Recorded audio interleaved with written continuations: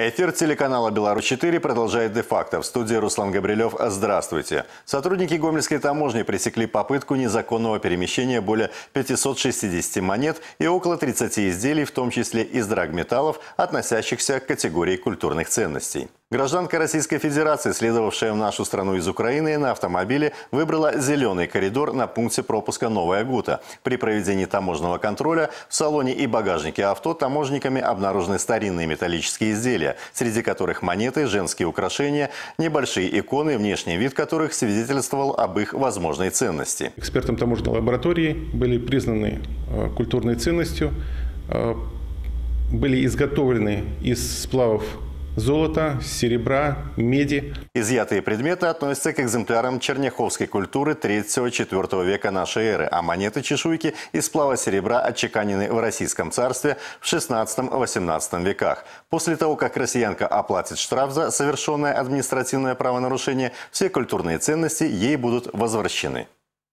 Сегодня в 7.40 утра в одной из многоэтажек по улице Свиридова областного центра на втором этаже загорелась квартира.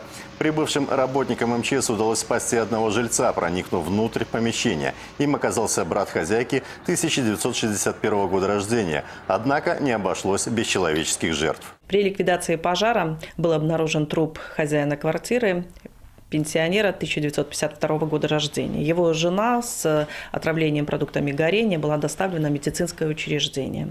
Предполагаемая причина пожара – это неосторожность при курении. Со слов соседей, погибший злоупотреблял спиртными напитками и накануне пожара его также видели выпившим. Квартира сильно закопчена, огнем уничтожено имущество в одной из комнат двушки. В отношении 37-летней жительницы поселка городского типа Октябрьский вчера райотдел Следственного комитета возбудил уголовное дело. Женщина 30 мая в 17.50, управляя автомобилем Opel Astra, совершила наезд на жительницу деревни Любань Октябрьского района, переходившую проезжую часть улицы Бумажкова по нерегулируемому пешеходному переходу. 23-летней девушке причинены тяжкие телесные повреждения. Она находится в больнице.